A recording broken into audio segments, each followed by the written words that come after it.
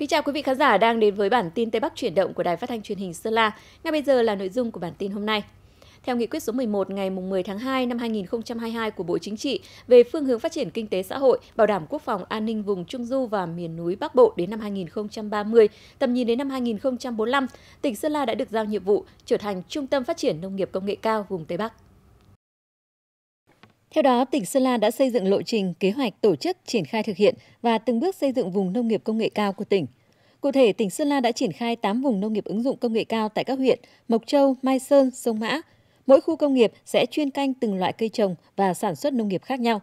Cùng với đó, tỉnh tập trung đầu tư nguồn nhân lực có trình độ, hoàn thành các dự án khu công nghiệp ứng dụng công nghệ cao, đảm bảo cơ sở hạ tầng nghiên cứu và nhân lực để triển khai các dự án, đề tài nghiên cứu, khuyến khích và hỗ trợ các hoạt động phổ biến, chuyển giao, ứng dụng các tiến bộ khoa học kỹ thuật trong sản xuất giống cây trồng vật nuôi, thủy sản,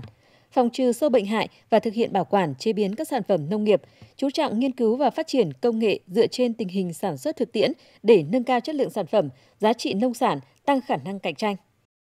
Thời gian qua, Bộ đội Biên phòng tỉnh Điện Biên không ngừng nâng cao hiệu quả công tác đối ngoại biên phòng, qua đó góp phần ổn định an ninh trật tự, xây dựng biên giới hòa bình, tạo thuận lợi cho phát triển kinh tế.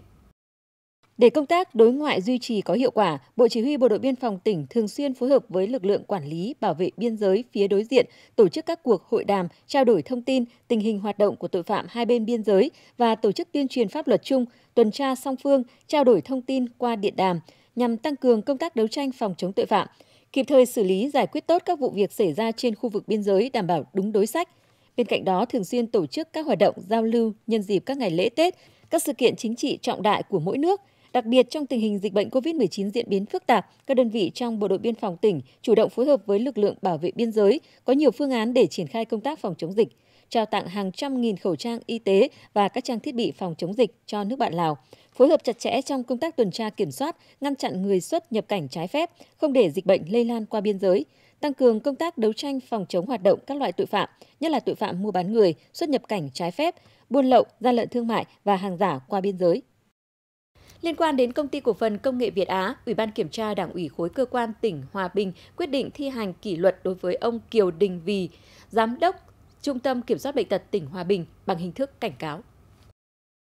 Ủy ban kiểm tra Đảng ủy khối cơ quan tỉnh Hòa Bình có công văn số 152 ngày 27 tháng 9 năm 2022 về việc xem xét kết quả kiểm tra khi có dấu hiệu vi phạm và kết quả xem xét đề nghị kỷ luật đối với Đảng ủy Trung tâm Kiểm soát bệnh tật, chi bộ phòng tổ chức hành chính, khoa dược vật tư y tế, chi bộ phòng tài chính kế toán, phòng kế hoạch nghiệp vụ thuộc Đảng bộ Trung tâm Kiểm soát bệnh tật.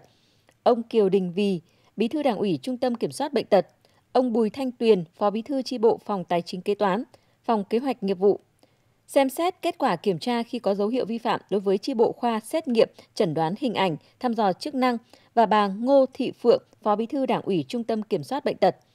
theo đó, ông Kiều Đình Vì, Bí thư Đảng ủy, Giám đốc Trung tâm Kiểm soát bệnh tật chịu trách nhiệm chính với những khuyết điểm của Đảng ủy. Trong lãnh đạo thực hiện nhiệm vụ chính trị, Đảng ủy đã buông lỏng việc lãnh đạo chỉ đạo, thiếu kiểm tra giám sát, dẫn đến việc Trung tâm Kiểm soát bệnh tật khi thực hiện đấu thầu đối với hai gói thầu mua sắm sinh phẩm xét nghiệm test kháng nguyên SARS-CoV-2 do Trung tâm Kiểm soát Bệnh tật Hòa Bình ký với Công ty Cổ phần Công nghệ Việt Á đã vi phạm quy định về các điều cấm trong công tác đấu thầu.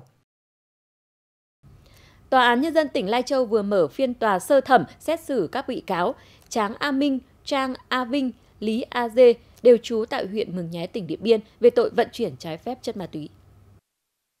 Theo cáo trạng, ba bị cáo đã bị bắt quả tang khi đang vận chuyển trái phép 69 bánh methamphetamine,